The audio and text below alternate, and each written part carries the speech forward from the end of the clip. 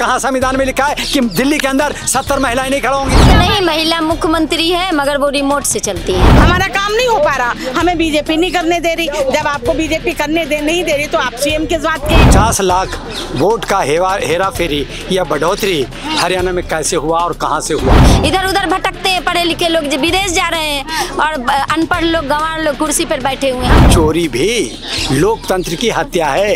हमारे जनता के विश्वास को तोड़ा जा रहा है। हमारा संविधान की धज्जियाँ उड़ाई जा रही है। बीजेपी के आरएसएस के रिमोट से चलती है तो वो जनता के लिए या देश के लिए क्या कर सकती है जब इलेक्शन कमीशन में खामियाँ ही खामियाँ हैं। जब तक सरकार का वो तोता रहेगा। उनको तो अपने ऊपर विश्वास ही नहीं है कि मैं दिल्ली के लिए काम कर सकती हूँ। जितना भी काला धन लूटा है हम इनसे लूट कर करके दिल्ली को लुटियन जोन की तरह खूबसूरत बनाए। नमस्कार जनहित टाइम्स देख रहे हैं आप लोग। मैं हूँ आपके साथ निशा लकवाल इस समय हम लोग जंतर मंतर पर मौजूद हैं और मेरे पीछे ये पोस्टर जो आप देख रहे हैं एहरा नेशनल पार्टी के तमाम लोग आज यहाँ पर मौजूद हैं और सवाल सरकार से तमाम जो है वो कठोर सवाल जिसे हम कहें कि वो किए जा रहे हैं और उनके सवाल इस पोस्टर पर सीधे तौर पर लिखे गए हैं। ईवीएम को लेकर लगातार सवाल उठाए जा रहे थे, बैलेट पेपर से चुनाव हो, ये भी कहा जा रहा था। लेकिन इलेक्शन कमीशन और सरकार की तरफ़ से इसको लेकर अभी तक कोई टिप्पणी की नहीं गई है। अब इनके क्या कुछ सवाल है? सरकार तक कैसे इनके जवाब सवाल पहुँचेंगे? इन्हीं से बात करते हैं। सर, क्या नाम है आपका? मैं डॉक्टर दुआ, अहरा नेशनल पार्टी का राष्ट्रीय अध्यक्ष जैसा कि आप कह रहे हैं कि सरकार इस पर संज्ञान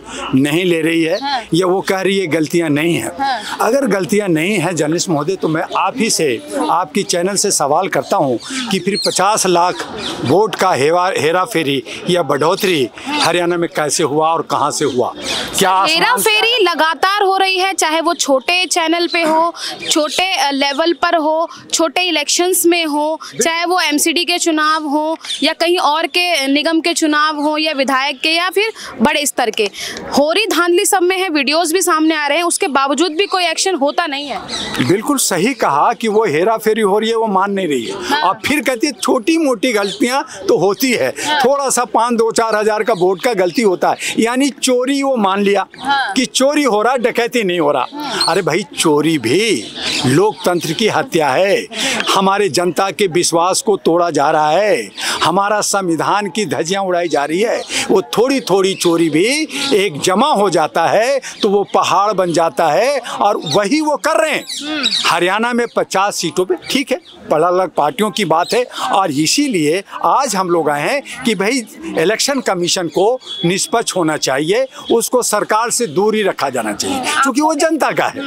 वो जनता का है जनता के जनप्रतिनिधि चुना जाता है तो उसके अंदर जो कमिश्नर होना चाहिए जो स्टाफ होना चाहिए। वो महिला हो सोशल एक्टिविस्ट हो जर्नलिस्ट हो डॉक्टर हो इंजीनियर हो आईएएस हो यानी कि जनता की तरफ़ से होना चाहिए। लेकिन उसको एक साल के अंदर दो दो कमिश्नर प्रधानमंत्री बदल देता है। तो तो आपको इलेक्शन कमीशन में क्या कमियाँ नज़र आ रही हैं? इलेक्शन कमीशन में खामियाँ ही इलेक्शन कमीशन में खामियाँ ही खामियाँ है। जब तक सरकार का वो तोता रहेगा जैसे कभी सीबीआई को कहा गया था कि तोता अब इलेक्शन कमीशन लोकतांत्रिक का तोता है जो सत्ता के सहारे सत्ता को साथ देती है। वो किसी अन्य पार्टियों के साथ नहीं देती। इसीलिए हमारी इन पाँच मांगों में एक मांग ये भी है कि जितनी भी पार्टियाँ हैं, उनको संविधान के तहत जो आर्टिकल 14 है, समता का, उस समता का अधिकार दो। जितनी भी पाँच हज़ार पार्टियाँ हैं, लेकिन आपको बीजेपी दिखता है, आपको कांग्रेस दिखता है, आम, आपको आम आदमी पार्टी दिखता है तो पाँच हज़ार पार्टियाँ कहाँ गई? तो वो आपने जो है एक ही ताली के चट्टे बट्टे को आपने मान लिया है तो जब मान लिया है तो पाँच हज़ार पार्टियों के रजिस्ट्रेशन कैंसिल कर दो। खत्म कर दो। क्यों रजिस्ट्रेशन कर रहे बार बार क्यों आप उनको मान रहे हो? तो असमानता है। वो किस लिए है? क्योंकि इलेक्शन कमीशन ने एक बड़ा पार्टी एक छोटा पार्टी एक रजिस्टर्ड पार्टी एक रिकॉग्नाइज पार्टी एक अनरिकॉग्नाइज पार्टी आपने डिवाइड कर दिया है। तो ये संविधान में कहीं लिखा है क्या? जिस तरह से संविधान में दो सौ बहत्तर सरकार बनाएगी ये नहीं लिखा हुआ। उसी तरह से आज जब हम कह रहे हैं कि दिल्ली में सत्तर महिला, अरे दुआ साहब, सत्तर खड़ा कैसे कर दोगे? संविधानिक हम का कहा संविधान में लिखा है कि दिल्ली के अंदर सत्तर महिलाएँ नहीं खड़ा होंगी? तो सत्तर महिलाओं को दिल्ली के अंदर हम लोग खड़ा करने जा रहे हैं। क्योंकि भारत की राजधानी दिल्ली है और दिल्ली की राजधानी में महिला राज करेंगी, तभी पूरा भारत सुधरेगा। लेकिन आप तमाम सवाल उठा रहे हैं और ईवीएम को लेकर भी बोल रहे हैं, लेकिन कहाँ से रिवर्ट आ रहा है आपको? लग तो नहीं रहा है कि कहीं आप जो सवाल आप उठा रहे हैं उसका जवाब कहाँ से मिलेगा? क्योंकि चुनाव क्योंकि चुनाव जब भी आते हैं या चुनाव खत्म हो जाते हैं वीडियोस तमाम वायरल होती हैं तब ईवीएम का हाव हल्ला बहुत मचता है। देखिए चुनाव तो हर साल होते रहते हैं चाहे उपचुनाव हो चाहे चुनाव हो चाहे अन्य राज्यों का चुनाव हो हर साल चलते रहते हैं। इसीलिए ये लोग कह रहे हैं वन नेशन वन इलेक्शन की बात कर रहे हैं जो भी वो भी लोकतांत्रिक जो है हत्या है। अब जो है ईवीएम में जो गड़बड़ियाँ हैं वो आवाज़ तो उठ रही है दबाया जा रहा है। वहाँ पे इलेक्शन कमीशन की जो भूमिका है, वो संदेशात्मक है, वो सही नहीं है। तो उस पर भी आवाज़ उठ रही है।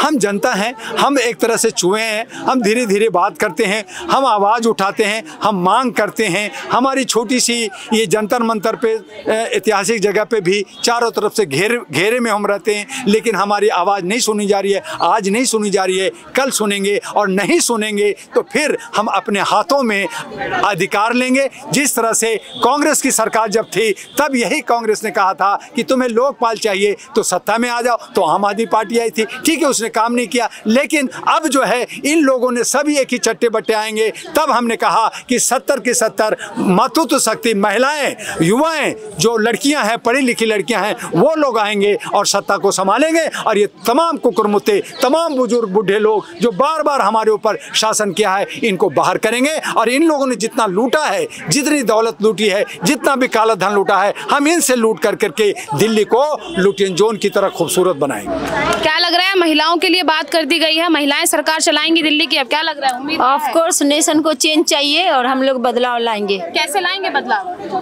क्योंकि इस समय महिला ही मुख्यमंत्री हैं दिल्ली की। क्या वो कोई बात नहीं महिला मुख्यमंत्री है मगर वो रिमोट से चलती है। अच्छा। हम लोग जो बदलाव चाहते हैं वो नहीं कर पाएँगी। चाहे जो जो सरकार चाहती है उनके रिमोट से चलती है बीजेपी के आरएसएस के रिमोट से चलती है तो वो जनता के लिए या देश के लिए क्या कर सकती हैं? जब अपने लिए कुछ नहीं कर सकती हैं अपना सामान उनका फेंकवा दिया गया वो बचा नहीं पाई तो अच्छा, जनता के लिए क्या करें? रिमोट से चल रहे हैं अगर आपको कोई पद दिया जाता है तो आप अपने उससे चलेंगी या फिर आप भी रिमोट से चलेंगी? हमको तो पद नहीं दिया जाएगा सरकार की तरफ़ से। अच्छा क्यों क्योंकि नहीं दिया जाएगा? कैपेबल तो नहीं है? ये वजह आप जान सकते हो कैपेबल है इसलिए नहीं दिया जा सकता है कैपेबल को नहीं दिया जाता है। अच्छा। वो रिमोट से चलने वाले डुगडुगी बजाने वाले को देते हैं नहीं तो देखो देश में इतने अच्छे लोग जो साइंस टेक्नोलॉजी पे बिलीव करते हैं पढ़े लिखे लोग इधर उधर भटकते हैं पढ़े लिखे लोग जो विदेश जा रहे हैं और अनपढ़ लोग गंवार लोग कुर्सी पर बैठे हुए हैं। हमको वो दे ही नहीं सकते कोई पद पावन। दे देते तो अभी तक हम आपके पास नहीं रहते। कुछ करने का सबके पास रहता है कुछ ना कुछ विजन लेकिन हम लोगों को मौका नहीं दिया गया। है क्या लग रहा है आपको कि अगर इलेक्शन कमीशन निष्पक्ष हो जाए तो सरकार चेंज होगी या कुछ बदलाव आएगा? क्या लग रहा है? वो आगे आपको पता चल जाएगा जब बनेगी। चलेगा जब इनको खड़ा करेंगी जब पता चल जाएगा। अच्छा क्यों आप नहीं होंगी?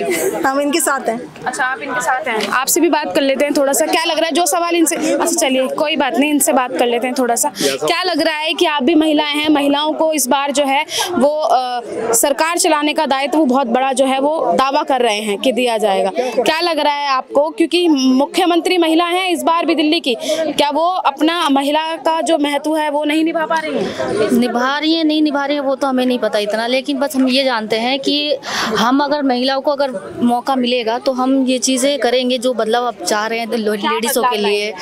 जैसे ये नालों की सफ़ाई नहीं हो रही है, लेडीज़ों को हक नहीं मिल रहा है। खुद लेडीज़ ये मतलब हम को इतनी लेडीज़ ऐसी हैं जिनको यही नहीं पता कि उनके हक क्या हैं, उनके अधिकार क्या हैं। तो उनको ये चीज़ें बतानी है, ठीक है? वो पर बेशक से सीएम लेडीज़ हैं, लेकिन वो क्या है, वो देखा, जैसे मैम ने बोला, वो रिमोट से चल रही हैं, ठीक है? लेकिन हम रिमोट से नहीं चलेंगे। हम जो है, हम सोच, हम काम करेंगे महिलाओं के लिए। मैं अपने इधर किराड़ी विधानसभा में, मैं काम करती हूँ, मेरे बहुत सारी लेडीज़ जुड़ी हुई हैं मेरे साथ। मैं उनके लिए बहुत कुछ मतलब देखती हूँ ध्यान करती हूँ कि मतलब ऐसी ऐसी लेडीज़ हैं जिनको यही नहीं पता कि उनको करना क्या है। वो मतलब कह उनको मतलब क्या अधिकार है उनके? ये चीज़ें नहीं पता उनको। तो ये चीज़ें उनको बताना है समझाना है आगे लेके आना है। महिलाओं को ये बताना है कि भाई आगे बढ़ो निकलो और अपने अपने हित के लिए लड़ो। ये चीज़ें। आपके हिसाब से क्या हक है महिलाओं के जो उनको पता होने चाहिए? जैसे कि अब हम मान लो लेडीज़ होती हैं बहुत से हमारे इधर अमन विहार थाना पड़ता है। तो क्या होता है कि लेडीज़ों को ये नहीं पता होता पुलिस वाले आते हैं और उनको रात को भी उठा के ले जाते हैं। तो महिलाओं को ये नहीं पता कि रात में कोई मतलब नहीं बनता कि हम उसको लेके जाएँ है ना? ये चीज़ें और भी बहुत सारी चीज़ें हैं बोलने के लिए। जैसे हमें इलेक्शन में औरतों को निकलना चाहिए लड़ना चाहिए अपने लिए बोलना चाहिए बहुत सारी चीज़ें अभी मैं इतना बोल अच्छा क्या लग रहा है मौजूदा जो सरकार है चाहे वो दिल्ली की हो या सेंट्रल की हो क्या काम नहीं कर रही है सही से? देखिए काम सही से नहीं कर रही इनकी अपनी लड़ाई काम कुछ करने नहीं दे रही है। इनकी आपस में इतनी खींचातानी है बताइए तो ये क्या काम करेंगे? जब ऐसे भ्रष्टाचार के आरोप में मुख्यमंत्री जेल में है जब देखिए दिल्ली को एकदम छोड़ दिया मरने के लिए वहाँ क्या काम हो रहा था? अब दिल्ली त्राही त्राही कर रही थी और आज भी वही हाल है। आज भी एक डमी अ, मैं कहती हूँ कि डमी सीएम कहेंगे उनको डमी मुख्यमंत्री हैं कि मेन खड़ाऊ रख दिए भैया खड़ाऊ रख दिए राम के आके बैठी हैं तो फिर वो कैसे काम करेंगी? उनको तो अपने ऊपर विश्वास ही नहीं है कि मैं दिल्ली के लिए काम कर सकती हूँ। अरे दिल्ली के लिए आप महिला हैं महिलाओं की हालत देखिए आप क्या सुधार हो रहा है महिलाओं में? कोई भी काम महिलाओं के हक में नहीं हो रहा है। ये सब बयानबाजी है और ये सब झूठे वादे हैं। अच्छा।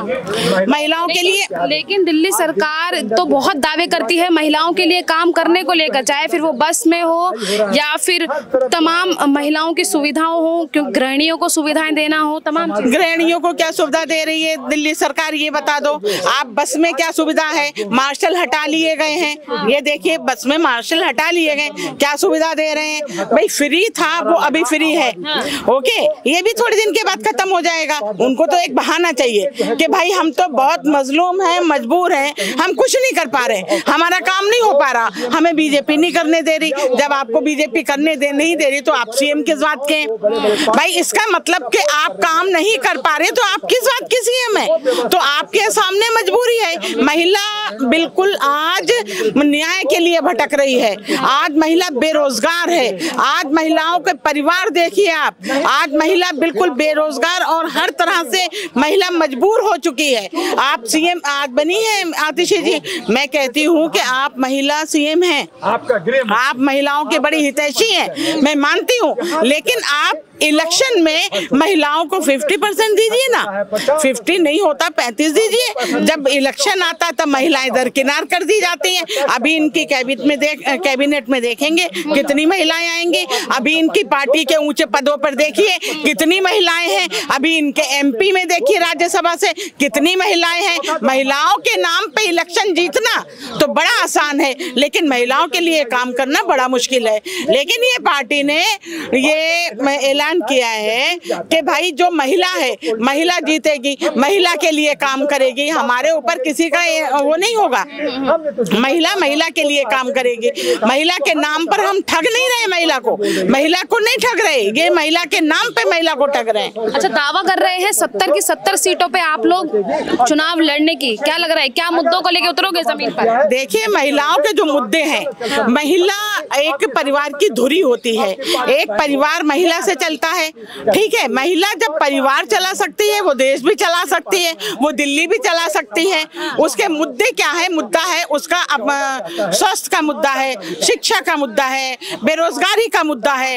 ये सब मुद्दे हैं महिला के सामने, उसको परिवार चलाना है। तो परिवार जो अच्छे से चला सकती है, देश भी चला सकती है, दिल्ली भी चलाएँगी। महिलाओं के जो हक हैं, महिलाओं के जो हक मिलने चाहिए, आज मैं, आज तक महिला उन हकों से वंचित है।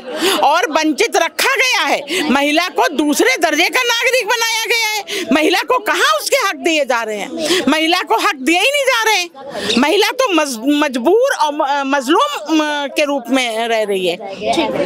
अब ये देखिए कि जो महिला जो है जो महिला है जो घर चला सकती है देश चला सकती है वो दिल्ली भी चला सकती है। महिलाओं की बात हम सुन चुके हैं। एक साथी और है हमारे साथ। क्या कहना चाहोगे?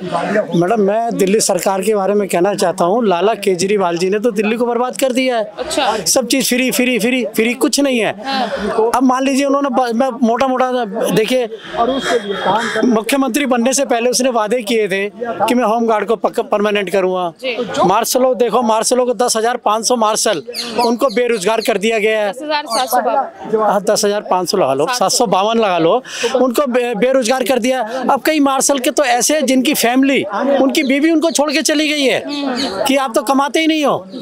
तो केजरीवाल जी कुछ शर्म करो। आपने क्या फ्री किया? मार्शलों की ज़िंदगी खराब कर दी।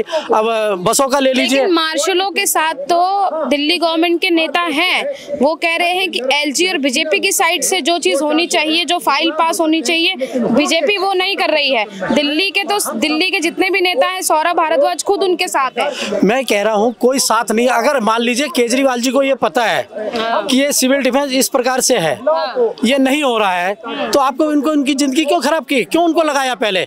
या तो आप पहले अप्रूवल लेते ना एलजी से या सेंट्रल से? अप्रूवल लेते तब उनको लगाते आप। आपने उनकी ज़िंदगी खराब करी है बहुत से लोगों तो सिविल डिफेंस वाले बहुत से लोग सुसाइड भी करे हैं मेरे ख्याल से। तो आज यहाँ पर जो आए हो इसका मकसद क्या है? मकसद ये है एरा पार्टी के हम सहयोग कर रहे हैं और यहाँ से चुनाव लड़ेंगे। सत्तर महिलाओं का चुनाव लड़ाएँगे और महिलाएँ आएँगी। अब अब जनता की भलाई के लिए यहाँ आए कि फिर से यहाँ से एक और पार्टी उजागर हो जाएगी नहीं नहीं? जनता की भलाई के लिए यहाँ पर आए हैं और जनता की भलाई करेंगे। पार्टियाँ तो सभी यही बोलती है जनता का भलाई करेंगे लेकिन जब पद पे आ जाती है तब क्या क्या सच्चाई है हमारी जो एरा नेशनल पार्टी है ये एफिडेविट देगी जो वादे किएगी वो वादे निभाएगी। वादे तो सेंट्रल और राज्य दोनों सरकारें देखिए वो उनको नहीं नहीं वो मुंह- जवानी वादे करती है। वो मुँह जवानी वादे करती है। हम एफिडेविट देंगे। अच्छा। दस रुपए के स्टैम्प पेपर पे देंगे। एफिडेविट से जो वादे किए जाएँगे वो पूरे जनता पकड़ सकती है। अच्छा। जनता पकड़ सकती है? कि आपने वादे किए थे हमारे वादे पूरे क्यों नहीं किए? तो करना पड़ेगा ना। हाँ। जी। लेकिन आप तो पुरुष हैं महिलाओं को उतारने की बात कर रहे हैं चुनाव में। हाँ तो महिला जो राष्ट्रीय अध्यक्ष हमारे करेंगे वो हमें मंजूर है। हम साथ करेंगे हम पीछे से सहयोग करेंगे महिलाओं का। और एक और अब जैसे दिल्ली की मुख्यमंत्री आतिशी जी बनी है मैं आतिशी से एक विनती करता हूँ कि लाला केजरीवाल जी ने तो दिल्ली को बर्बाद कर दिया। आप उनके इशारे पे काम ना करके अपने स्तर से काम करिए और दिल्ली के अंदर जिस तरह महिला फ्री है मेरा आपसे विनती है, आप कभी बस स्टॉप पे खड़े के देखिए। अगर किसी बस स्टॉप पे दस महिला, दो पुरुष खड़े हैं, अगर महिला हाथ दे रही है तो ड्राइवर बस को भगा के ले जाता है। कई बार मैं उस बस में मौजूद होता हूँ तो मैं ड्राइवर से कहता हूँ, यार, तूने रोका क्यों नहीं? तो उसका जवाब होता है, यार, फ्री की सवारी है। अरे, तुम्हें फ्री कैसे, क्या लेना जब सरकार ने फ्री की है तो फ्री जाने तो तुम्हें तो तनख्वाह से मतलब है। कहता भाषण दे, बैठा रहे। तो ये उनके जवाब होते हैं। तो मेरा आतिशी से कहना है कि इस पर सख्त से सख्त कार्रवाई करे और महिलाओं को मान सम्मान करें। एक महिला होते हुए महिलाओं को सम्मान करे या फ्री मत करो। पाँच रुपए का टिकट कर दो। कम से कम सम्मान से यात्रा तो कर लेगी। आप देखिए, पाँच रुपए का टिकट कर दो। उससे क्या टिकट का खर्चा भी आएगा? जो कागज़ छपाई है, कुछ तो खर्चा आएगा। सरकारी बजट में भी घाटा नहीं होगा और महिला को सम्मान से यात्रा भी कर पाएगी। मेरा यही आतिशी से निवेदन है कि इस ओर तुरंत ध्यान दें। सच्चाई क्या है दिल्ली की? वो आज हमें यहाँ पर बता चुके हैं। और अब एक और पार्टी जो है, एहरा नेशनल पार्टी आज यहाँ पर जो है, फिर से यहाँ पर सामने आ रही है और चुनाव लड़ने की दिल्ली में जो है वो बात कर रही है। और सबसे बड़ी बात यह है कि सत्तर की सत्तर विधानसभाओं पर महिलाओं को उतारने की बात की गई है और तमाम मुद्दों के साथ आज यहाँ पर बात की गई और साथ ही ईवीएम पे, इलेक्शन कमीशन पे और साथ ही भारत सरकार पर तमाम बड़े सवाल आज यहाँ से उठाए गए हैं और उन सवालों का जवाब कितना जल्दी मिलता है, ये देखने का विषय रहेगा। आपको क्या लगता है? अपनी राय कमेंट बॉक्स में ज़रूर बताइएगा। कैमरा पर्सन सौरभ के साथ मनीषा लकवाल जनहित टाइम्स, दिल्ली।